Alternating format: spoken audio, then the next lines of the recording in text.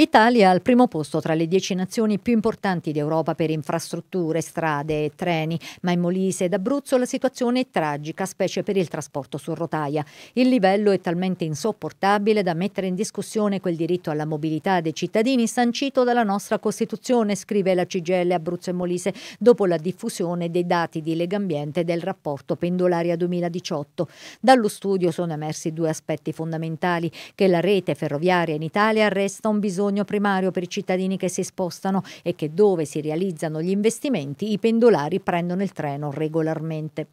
cosa che non avviene in Molise e in Abruzzo, dove gli investimenti su rotaia sono praticamente nulli, mentre in Italia si osserva un 8% di viaggiatori in più, la nostra regione ha toccato un meno 11% e l'Abruzzo un meno 39% in soli 8 anni. In Molise invece al primo posto per i tagli ai servizi registrati nello stesso arco temporale, ben il 33% in meno, su cui incide tantissimo la chiusura della tratta Termoli-Campobasso. L'Abruzzo con un meno 0,9%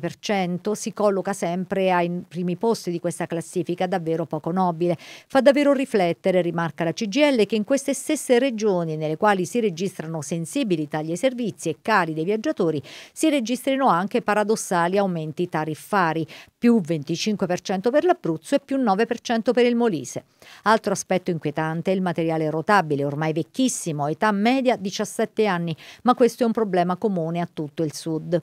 Il Molise non ha investito su motrici diesel perché si sta muovendo verso l'elettrificazione della rete, ma questo a parole, perché nei fatti i chilometri elettrificati sono soltanto 60 su un totale di 265, quindi poco più del 20%. Un altro problema rilevante è l'alta incidenza dei chilometri a binario semplice unico. Per concludere questa carrellata di brutte figure per la nostra regione, dice la CGL, c'è da segnalare che la tratta Campobasso-Roma è stata inserita tra le 10 10 peggiori d'Italia da Legambiente Pendolaria, 244 km che vedono una concentrazione di problemi nei primi 75, privi di elettrificazione e a binario unico. Basti pensare che per collegare Campobasso ad Isernia occorrono 53 minuti con una velocità media di 55 km orari su una linea sostanzialmente vuota. Nella classifica dello scorso anno figurava invece la Pescara-Roma che ancora oggi, secondo il sindacato, continua a rappresentare comunque una tra le peggiori linee ferroviarie presenti nel nostro paese.